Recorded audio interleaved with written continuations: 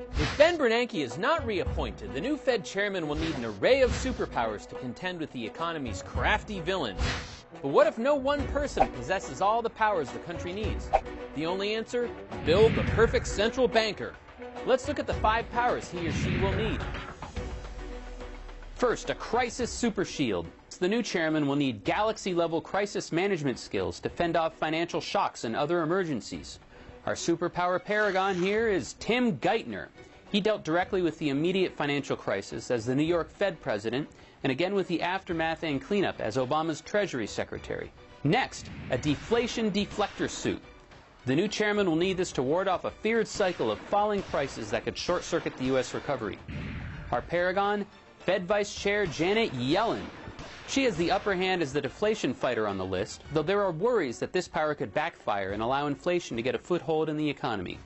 Then, the new chairman will need economic laser vision, able to penetrate data to read patterns that dictate the right Fed policies. Superpower Paragon? Now, all of the top candidates but Geithner are trained economists, but Lawrence Summers is particularly respected for his economic acumen and intellect. And of course, our superhero chairman will need a balance sheet blaster. He or she will preside over the eventual shrinking of a massive balance sheet that could approach $4 trillion. Superpower Paragon?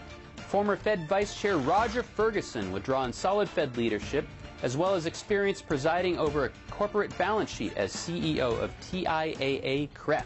And the last power, Wall Street Whisperer.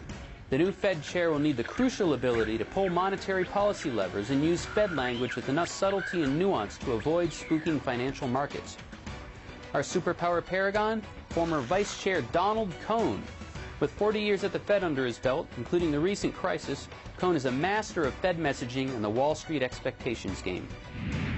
Both these powers together, and a true economic superhero will be ready to take on any challenge in difficult times to come.